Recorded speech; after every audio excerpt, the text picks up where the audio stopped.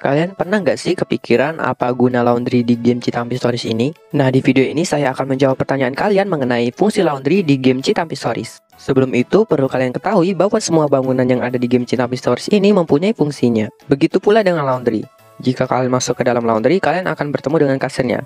Nah, kalau kalian perhatiin, si kasir ini itu udah ngasih jawaban apa fungsi dari laundry ini. Kalau kalian belum paham maksud dari si kasir ini, jadi, di Citampi versi sebelumnya itu ada bug di mana barang quest untuk perlengkapan bayi itu bisa hilang kalau kita jual ke Pak Tatang. Nah, jadi dibuatlah laundry ini itu untuk mengembalikan barang quest yang sudah terlanjur hilang. Player lama sih pasti pernah ngalamin bug ini, termasuk saya. Tapi di versi sekarang bugnya udah nggak ada lagi sih. Mungkin itulah alasannya laundry ini itu kelihatan nggak guna. Selanjutnya bahas apa lagi ya?